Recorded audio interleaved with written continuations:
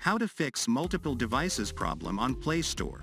Does Play Store shows install on more devices when you try to install app on your Android phone? If you access the Play Store from web it will also show multiple devices problem.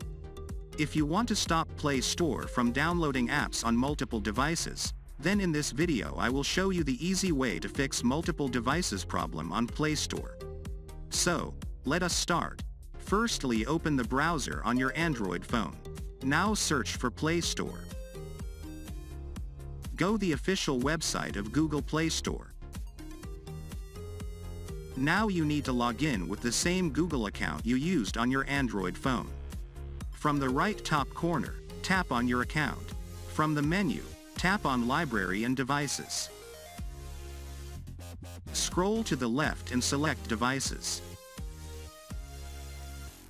Now you will see all devices that are using your Play Store account. Now under Show in Menus, you need to untick all devices and leave only your main phone.